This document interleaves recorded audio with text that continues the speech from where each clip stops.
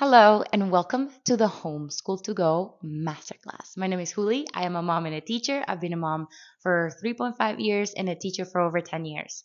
Today in this class, my goal is for you to leave here confident, certain that you can give your children the best possible education by homeschooling in less than 10 hours per week. We're talking compared to Waldorf, Montessori, Cambridge. These are some of the most prestigious methodologies as far as education around the world. And we're going to make sure that you feel that from the comfort of your home, you can also raise your children with these opportunities without compromising your professional career, your business, whatever way it is that you bring food to the table today.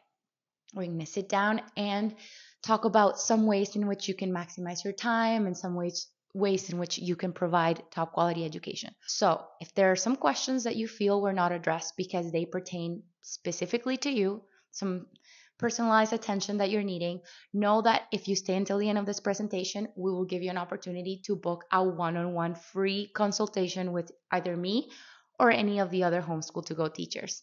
So make sure you stay until the end and then fill out the application. It's about two minutes long and we will get you sorted.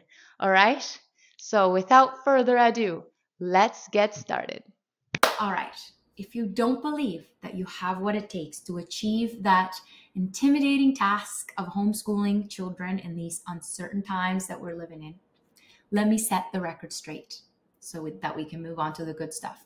There's only one thing that you need really need to be able to do this the love that you have for your children.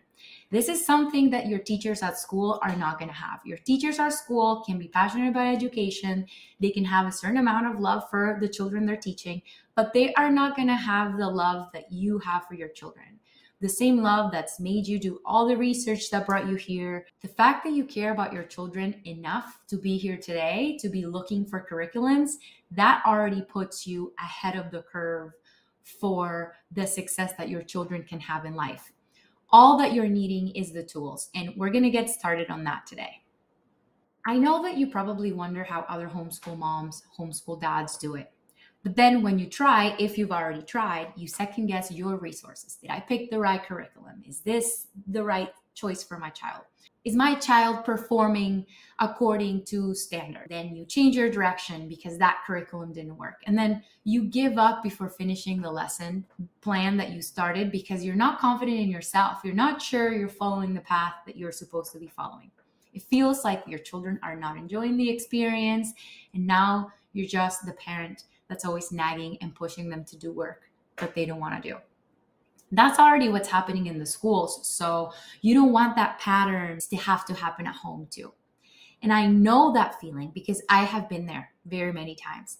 I want you to know there is much fulfillment and happiness on the other side of this process if you know how to do it right. And today I'm going to take you there. First, I need to know that you're willing to invest two things these are two non negotiable components when it comes to homeschooling your children. Number one is caring about them, caring about your children, not caring about whether they're going to be better than the neighbors, not caring about whether they're going to be able to do everything that you ask them to do, caring about them and their future and their development. If you care about your children, number one, and then if you're able to invest 10 hours per week to their education, to your bonding, your relationship as a family, everything else will be there. The projects, the support, the effective teaching strategies, the STEM qualities, the resolved questions, the accreditation, all of that that you need other than your caring and your 10 hours per week is on the other side of this program. With my proven step by step strategy, your brilliant children who need reframing their relationship with learning will evolve, not just in core academics, but in emotional intelligence, conflict resolution, social skills. Yes, social skills. We'll get into that in a little bit because it's a huge homeschooling misconception. Your child will grow to be a holistic individual that can thrive in this uncertain world. Let's talk a little bit about the socializing piece because this is one of the biggest myths when it comes to homeschooling. The truth is that when you look at the studies, homeschool children perform above average in measures of social, emotional, and psychological development. There are several studies that explain how sending your kids to school too young actually hurts them. This is because they start to look to their peers for lessons and for approval instead of their parents. When kids are this little, like pre K, kindergarten, grade one, grade two, grade three, they are still developing, figuring it out who they are. And what's best for them is to have people around them to reassure them and to guide them. The problem is when they go to school, there's more peers than there are teachers, and these people around them are not necessarily reassuring them all day long. It's pretty hard to find that support that you need emotionally when you're in school. So, what the kids start doing is they start changing who they are to fit in because they need that sense of belonging. And in this book that I'm referencing here, you can read all about it. Honestly, if you're on the fence about homeschooling, read this book. It's going to clear a lot of truths for you. It's called Hold On to Your Kids. Um, and that'll explain the rest of the scientific proof that there is behind what it really entails to send your kids to school at this time. But it is an important decision to make. So I want to make sure that you feel confident before you take that step. There is a website that I'm going to show you in just a few seconds. It's called the NHERI, the National Home Education Research Institute, that works really hard on gathering the, the peer reviewed studies every year on how homeschool kids are performing compared to kids in standard schools. And what we find is that not only they are better in academic measures, but they're better in psychological development. Research measures include peer interaction, self-concept, leadership skills, family cohesion, participation in community service. So homeschool kids participate in the community more than the school kids. And most importantly, self esteem. Self esteem is going to be such a huge needle mover when it comes to the performance of the children in the world. And so that is a really important piece when we are talking about parent involvement. Let's talk a little bit about the overwhelming amount of options that are out there because I am not the only one who's created a homeschool program here. All of these schools, all of these programs are great and they sell a one size fits all approach. And what you want is not for your child to bend over backwards to fit into the crowd, but you want them to stand out. You want them to develop their own unique potential, their gifts, their intrinsic potential, I call it, or their soul potential. And how about we top that with a community of like minded, conscious parents and teachers to keep you accountable, to keep you inspired, to keep you motivated? Community is so important when it comes to doing anything in life, really. So, whatever it is that you're doing, right now as far as homeschooling, please make sure that you surround yourself with a community of supportive homeschoolers as well. All right, so let me tell you a story. Teaching for prestigious institutions, Cambridge institutions, using Montessori and Waldorf curriculums to homeschool other people's kids, watching parents at these schools where I was working and where these kids were going drop 25,000 a year to have their kids go to school. And then also as the passionate and devoted teacher that I was, feeling so frustrated because I was under an unachievable pressure of giving children the attention that they deserved. The attention that they deserve is that one on one attention, or one to three, even. It's not bad if you have more than one at home. Um, I wanted to do this with 18 children in my class. And that's a small school because it was a private school. I wanted to make them feel supported, to look in their eyes and give them that reassurance that they need, to understand why they chose to do a certain thing. But in a classroom, in order to survive as a human being, as a leader of the classroom, the teacher, you have to set very unnatural rules that treat children like robots and you need to be very strict with those rules. And these rules are not always beneficial. But as a teacher, it's the only way to get by without chaos. As a parent, I know that this was not the education that I wanted for my children. And the pattern of the brilliant child in my class was always consistent with the parents being supportive at home and caring about what the child was learning and being actively involved in their learning. Even as teachers in the schools, we can notice that the kids that were ahead were the kids that had the parents that cared. So to me, there was no other alternative than creating a holistic program that combined Montessori, Waldorf, Cambridge, and all the meaningful aspects of the curriculums that I had seen create wonderful results in children, and to empower the parents, the ones that hold the key to delivering it to their children in the way that will expose their unique gifts and talents. So, what I'm trying to say here is that you hold the key, and my goal is to give you the tools because nobody will know how to do it better than you. Here is what I'm going to share with you today. The eight best secrets, I call them, but really is how to avoid those eight biggest mistakes because we've already been conditioned on how we think that we need to teach and how we think that children absorb learning. It's really hard to fight that. So I just want to point those out in order to make it easy for you as you develop your teaching style with your children. And the first thing is that you want to make it simple for yourself and for your kids. Because if you are confused and if you're overwhelmed, imagine how they're going to feel. You're the leader. So the leader is supposed to be calm and collected and knowing what they're doing. And truth is, when we think of homeschooling, can be a little bit overwhelming. So if we keep it simple, is better.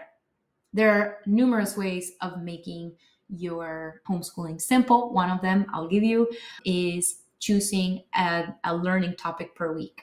And then that way you can extrapolate all kinds of lessons that you're learning at home into what you're living in your day to day life, which is going to create a direct link between your lessons and life applicable content. So keep it simple, work with projects and work with a theme per week. All right, that's the first secret. Okay, number two, big mistake. Don't bribe them or force them to do work when they don't want to. At school, they go to school early in the morning. They have to wake up. We already know that sleep is so important for little children in their development. So in school, we have to wake them up early and send them over. And when they do that, they are forced to follow rules. They have to sit behind a desk. They have, they have, they have. This is a huge gift. Parenting and teaching are theatrical by nature. So it's important that you approach each homeschool time like you love it, which is the right mindset for having a child fall in love with learning. There's always going to be wiggle room in your day to day life. There's no wiggle room at school, but in your home, there is. If there's one moment where they don't necessarily want to do the work that day because they feel sick, they feel tired, they feel emotional, scratch it you know? I've actually had so many homeschool families in my program that do four weeks on then they take two weeks off sometimes just one. Um, and what they find is after the two weeks or the week of break is over when the children come back to the program again they are super into it they're way better their skills are growing and they actually want to get back into it because they miss that routine when I do it at home, I just do one week in between every month of, you know, we don't follow the lesson plans, we just do something else. And I kind of do it on purpose to make them miss the routine because that routine provides them with safety. And we'll talk about that when we talk about how we can maximize the time. But just to stick to this point, don't bribe them to do to do the work because you're sending the message that it's work instead of quality time. So just present it as something fun that you're going to do together. Number three, getting frustrated over finishing up a lesson that is suggested by the curriculum. No computer, no program, no curriculum, no teacher is going to know exactly how to teach your child. You, as a parent, however, have the task of figuring out how to adjust the curriculum to them. At school, there's too many kids. They all have to adapt to the curriculum at home, you can be ahead of the curve by adjusting the curriculum to them. And there are several tactics for this. I can help you with your specific needs as we move forward in my training. And again, at the end of this training, if you apply for the one on one consultation with me, I can help you with that as well. The strategies that are going to work for your child are different than the ones that are going to work for my child. But there's so many of them, and I am very much prepared to help you with whatever that is. I just need to hear what the dynamic at home is first. Okay, number four, thinking that your child has to get it right the first time. I feel like this is maybe more the case for overachiever moms like me, but I do want you to be patient. When your child doesn't get it at first, let them try, let them fail, let them be frustrated. Talk about the feelings of frustration with them. We include a lot of emotional development in our program because the emotional development is such a big piece of the holistic individual and their ability to succeed in the world. So give them a break and let them revisit at a different time. Always be sure to let them know when improvements are happening. And I'll tell you why. Because number five, not recognizing their strengths is such a big mistake. You it's very important to always be noticing their strengths because we're going to build the curriculum around their strengths. Yes, it's important to have the growth mindset, and there's also room for that in our programs and in your programs. But noticing their improvements is what will get them hooked on learning and is going to help them embody that growth mindset when they need to push through challenges. Number six, not listening to the needs of your child. This one is so common as a teacher and it's so easy to do because you have so many to take care of simultaneously. But as a parent, this is your biggest strength. So it's important that you use it. You will have to make changes to your initial plan, but modeling the ability to pivot to their needs is how you're going to teach them growth mindset because they're going to see you reconsider, restructure, and then they're going to know that's the same skill they need to develop to navigate the world. Number seven, giving them a step by step without letting them take part in the choices. This is so common for homeschool families as well because they can easily get bored with what there is to do. It's always the same teacher and it's also the mom or the dad, and they're used to saying no to them or they know how to get around their parents. So, a really good way of overcoming that challenge is by making them a part of the decisions. Instead of telling them, this is what we're doing today, you can tell them, I have five activities for us to learn about X and Y, and you can choose any of these to complete today. And then you can go over the activities, and then they can make the decision which one they're going to start with yet. So, in our program, we give you five activities every week, and then you let your child each day choose which one they're going to do that day. Perhaps one day they're super into it, they get two done. Perhaps another day they skip the day because of whatever reason and they they want to change it a little bit and do it outside. It's important that your program has the flexibility enough to allow them to make some choices in the matter. Not that they're leading the entire operation, because in the back of their heads or in their subconscious mind, they know they're not the most educated, equipped person to be the leader. So you don't want to stress them out with that responsibility, but you do want to give them some freedom within the boundaries of safety that you're providing. Okay, and then last mistake is that when you submit your letter of intent for homeschooling, which by the way, we help all the parents because we are very familiar with the different states and provinces, what they require for those accreditations to happen. You have to understand that by giving a letter of intent, you're telling the superintendent or the authority that you are now responsible for the education of your child. So while there are some requirements and some checkpoints that you need to be aware of, and the very state by state, you need to understand that you have just taken the freedom to decide what are the important subjects that your child should learn. Meaning, you don't need to get married to any curriculum for life, meaning, you get to choose what matters. And that's important for you to determine early on. Okay, so let's talk about the actual rhythm. This is how you can maximize your time or maximize your rhythm. The first thing that you gotta do is you gotta use a little template like this where you have one slot for an hour every every day of the week and you go through your day without making any judgments you look at what it is that you did that day and you understand your flow so the rif- difference between a schedule and a rhythm is that a rhythm is natural. It flows. It flows. It has a direction. So it allows you to be in the moment. Now, what you're going to find out when you fill out the first three days, you start to notice the pattern. You probably eat around the same day every, uh, around the same time every day. You probably go to bed around the same time every day. You probably crash around the same time every day. For me, it's at 3 p.m. It's when I'm feeling really tired from all the morning activities. And then I just start to kind of short circuit and go on my phone, sometimes for longer than I would want to. So I already know at that time I need to take a break. I need to do some meditation, some praying. I need to have some quiet time. It's important for me. So I suggest that you do this. This is the first step. And when you book your one on one, you bring to me this template because once I look at it, I'm going to be able to tell you this is how you can maximize your rhythm. But I'm still going to give you some tips that you can work with today. So, number one tip that I want you to have is to know to eat the frog first. So, this is a habit that so many successful leaders in the world already know they have to do. So, what this means is the hardest thing that you need to do that day, the thing that you probably have been postponing for a while, the thing that you're you know, not really wanting to do, is the thing that you probably need to do first because it's likely to be the thing that is going to make a difference.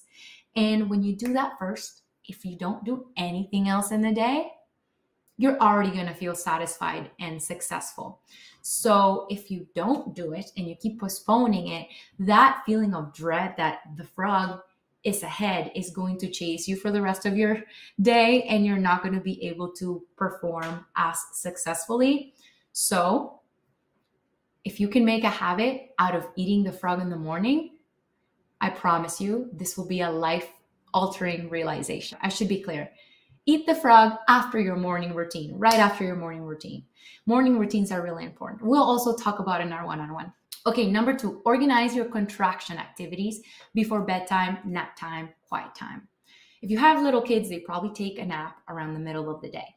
If your child has grown from the nap time, I suggest that in that middle block where we go from AM to PM, you still reserve it for a moment of quiet time. So there's no talking in the house, there's just reading books, there's going in the corner to journal, there's writing there's whatever it is that they want to do listen to music while they look at the at the ceiling. But it has to be listen to music with headphones it has to be quiet. It also allow you to take that break to decompress. And so you won't have a crash at 3 p.m like i do. Um, but it also will create a flow in your rhythm so, when I talk about contraction activities, what I mean is contraction activities are all the activities that make your focus go into a narrow point. So, art projects, fine motor skill activities, writing, mathematics, all of those are contraction activities. Now, when I talk about expanding activities, we're talking exercise, playing sports, going outside, exploring the forest, you want to make sure that you organize your contraction activities right before the moments of quiet time, the moments of, you know, right around the end of the day. You don't want to be running outside. You probably, if you were outside in the evening, you probably want to come in. Maybe you want to do like a little bit of writing before bed or something that brings your focus in so that you can flow into bedtime after that. Number three, so you know, for example, in my AM block, we're going to do a contracting activity. So I'm going to tell them, do you want to do an art project? Do you want to do a STEM project? And then they can choose between the two. And then they do the project, and that's their contracting activity. And now we're moving into quiet time. The other thing that is really going to help you save time is choosing a weekly learning theme. So let's say this week we're learning about patterns, and we're going to be creating some patterns threading some patterns with beads, okay?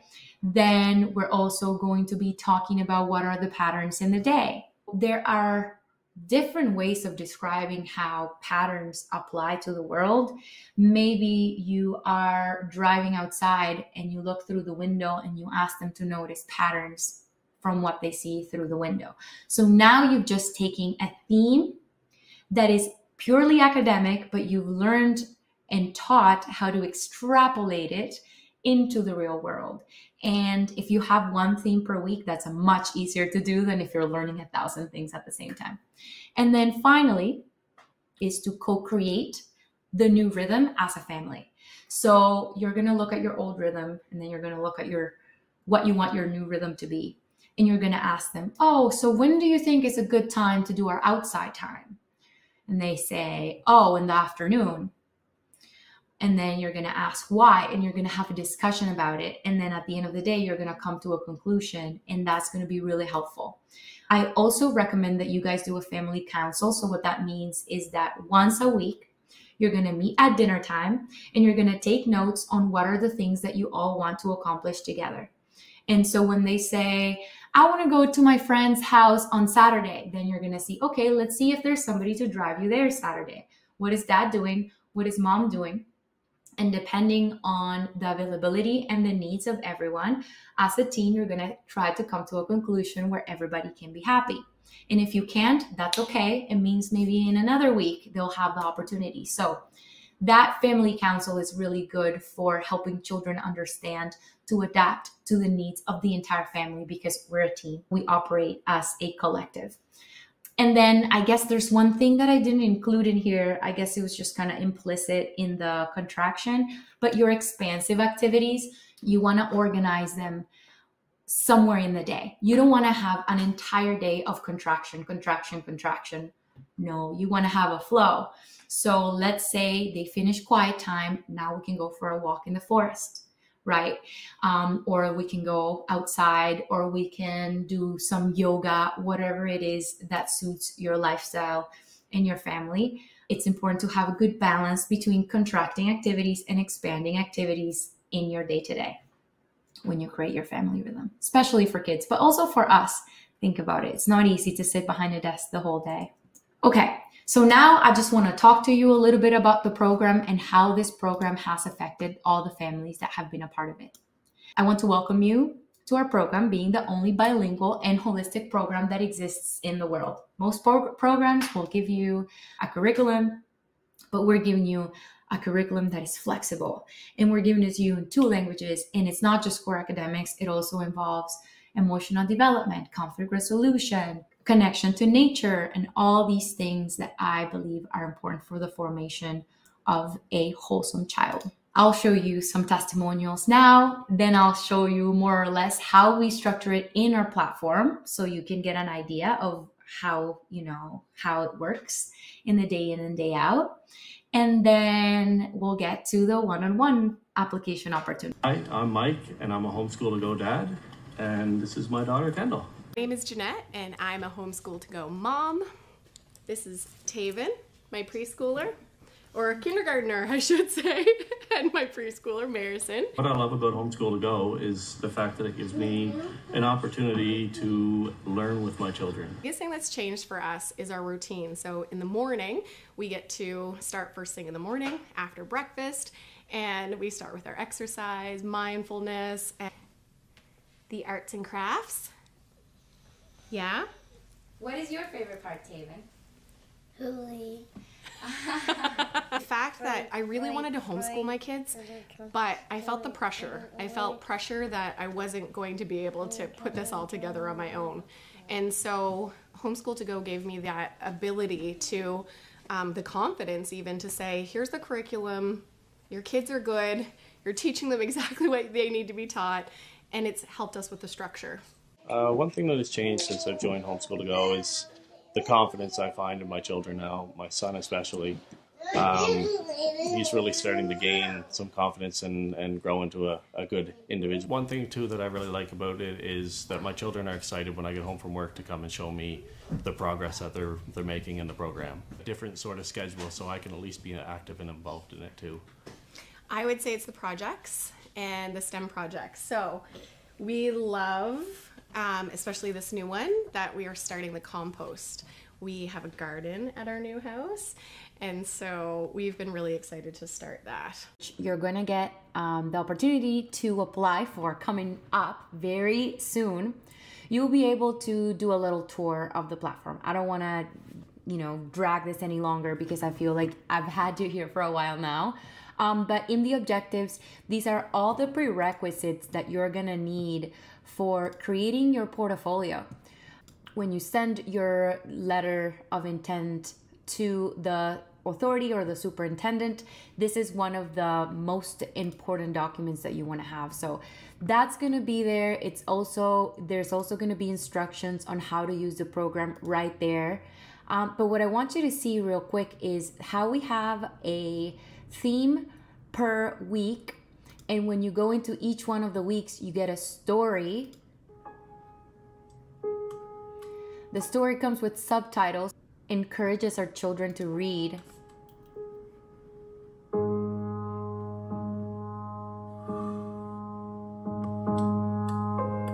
I like being you, said the reflection in the mirror.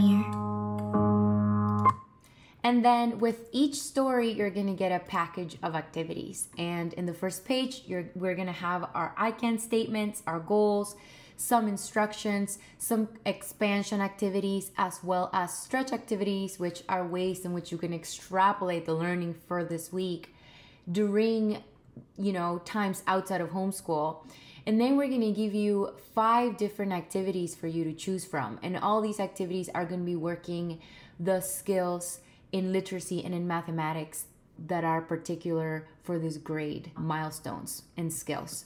So that is more or less what you're going to find week by week, along with the mindfulness program and the emotional development resources. Okay, and finally, let's get to it. So we've chosen to give a discount to those families that are early birds. Why? Because this happens every year and we have so many applicants and we can't get to all of them and we have to turn some of them down, unfortunately. So we thought we'd do things a little bit different. We give a 15% discount to all those families that choose to send their applications in advance. So after you see this, you'll get to an application. If you fill that application and book your one on one with me in the following weeks, you will get a 15% discount in any of our programs. What is going to happen in this discovery call that we're going to have together? We're going to identify your family rhythm. So if you have it, bring your template from the chart that I just given you. You're going to tell me what your needs are as far as raise, how you want to raise your children, what their talents are, what their challenges are. And I'm going to give you some tips and pointers to maximize your time as well as for teaching strategies for your children. Number three, we're going to set your goals for the year of homeschooling that is starting, and I'll help you draw a roadmap. And number four, if you're interested, we're going to determine if homeschool to go is the right choice for you. So, if you want to be a part of our community, this is an opportunity that you will get if you come to this one on one and you fulfill your application. If this is not an opportunity that you will get, I guarantee you after this chat, you will leave this call feeling that you have what it takes. You have what it takes to make it happen. So, this is my gift to you, and your gift to me is that if you're in this journey and you let me be a part of it, it's already so fulfilling for my soul, for my mission. This is what I came here to do, along with the teachers and the team at Homeschool to Go. So, thank you for your time. Thank you for your trust. And I look forward to meeting you if you fill out your application and book your one on one within the next two weeks. Have a beautiful day and thank you for coming today. Bye bye. Mwah.